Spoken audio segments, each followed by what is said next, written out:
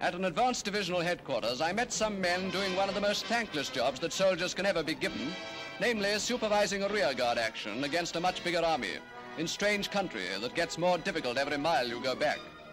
The commanding officer of a frontier force battalion led his men through the jungle, himself armed with a revolver and a haversack of hand grenades. It's so filthily hot and steamy in the jungle, you can feel your energy being drawn out of you. But operating with this force were some Gurkhas. The jungle's nothing to them. It was an inspiring sight to watch them hacking their way through with those positively terrifying knives. It'll be God help the Japs if ever it comes to a hand-to-hand -hand fight with the Gurkhas.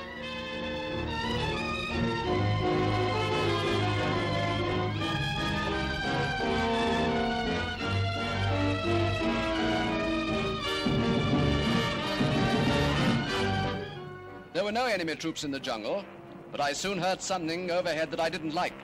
It wasn't our own bombers, but the Japs, letting fly at undefended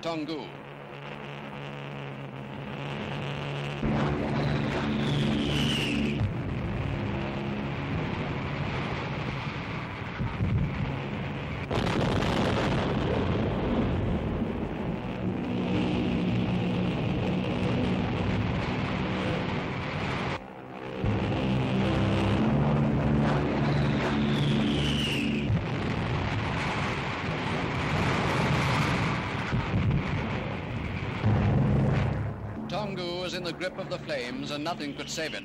Outside the jungle, Burma is tinder dry at this time of the year. A single incendiary bomb would have started a big blaze, let alone scores of them with some HE thrown in. So here it was again, another of war's familiar sights. Not much more than a year ago, I was in the city of London, picking my way between burning buildings, filming the inferno around St. Paul's.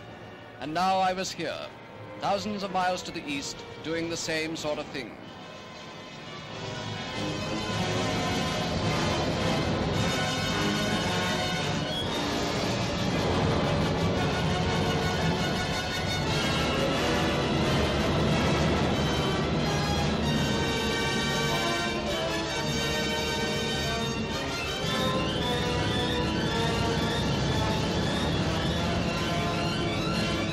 Daylight revealed utter devastation. The whole of the poorer quarter of the town around the bazaar was little more than hot ashes. I don't know how many people were killed. It happened so suddenly that hundreds must have been trapped. Those that escaped formed into the inevitable army of the lost and hopeless. I haven't seen anything quite so hopeless since I drove past those unforgettable refugees in the Battle of France. God pity them, man won't.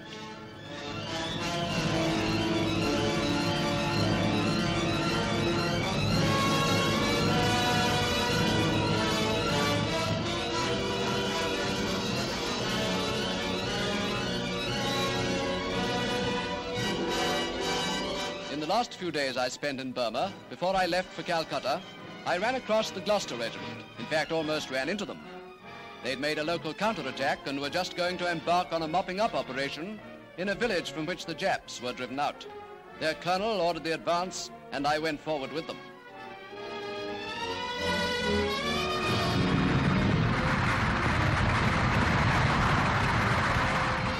One of the men in the Bren carrier was a Russian, Viktor Filatov. I hadn't time to ask him how he came to be fighting in the British Army. His party had an Italian Breda gun, by the way. Arthur Toghill of Bristol and his pal Jack Godwin of Cirencester told me the Breda was one of hundreds captured in Libya. They were very useful. They had mortars, too, mounted on lorries. Lieutenant Christensen picked out some retreating Japs.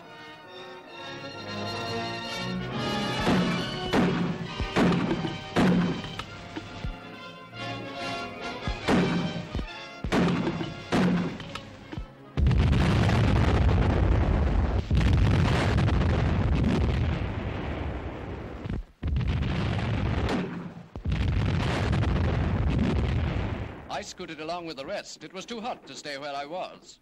Across the track, into the village itself, the Gloucesters very cautiously went forward, making a house-to-house -house search, up to all the tricks practiced by an enemy as cunning as a cage of monkeys.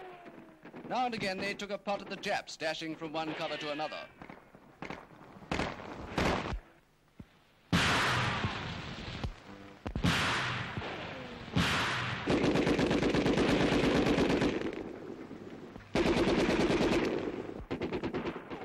Forward went the Gloucesters to press home their advantage.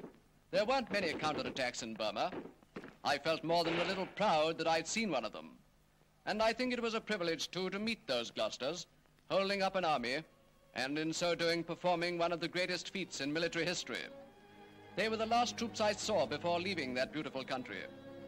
Yes, the sun has set over Burma, but not permanently.